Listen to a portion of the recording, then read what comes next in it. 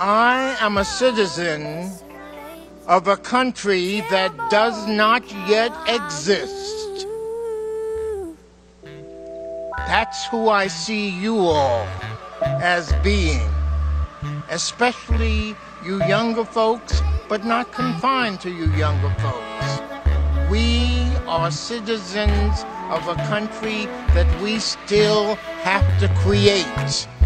A just country, a compassionate country, a forgiving country, a multiracial, multireligious country, a joyful country that cares about its children and about its elders, that cares about itself and about the world, that cares about what the earth needs as well as what individual people need.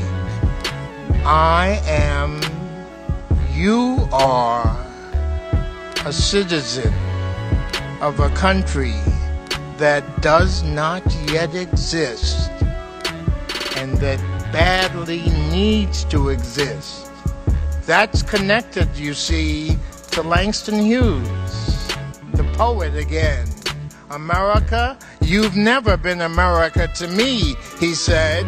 And we can always stop there and complain and complain and complain. You've never been America to me. But remember, Langston did not stop there. America, you've never been America to me. But I swear this oath you will